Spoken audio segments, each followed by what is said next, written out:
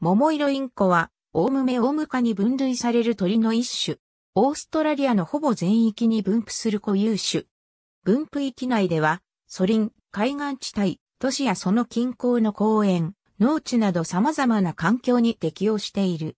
特にかつて森林であったところが、ヨーロッパ人の入植以降、農地に開拓されてから個体数が増え、生息域が広がった。タスマニアには移入された。体長35から38センチメートル。頭部から腹部にかけてはピンク色で、背面、翼の上面は灰色、オハは翼より淡い灰色である。また、頭部には関羽があり、これは淡いピンク色をしている。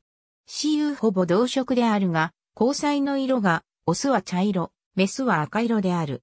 アイリングは、元亜種では、灰色、他の2亜種は、ピンク色をしている。英名は、ゴラという。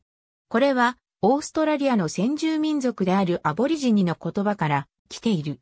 3亜種が確認されている。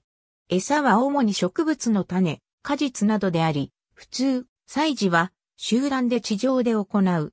一度つがいが形成されると、一生の間、そのつがいは継続され、集団の中においてもつがいで祭事を行うことが多い。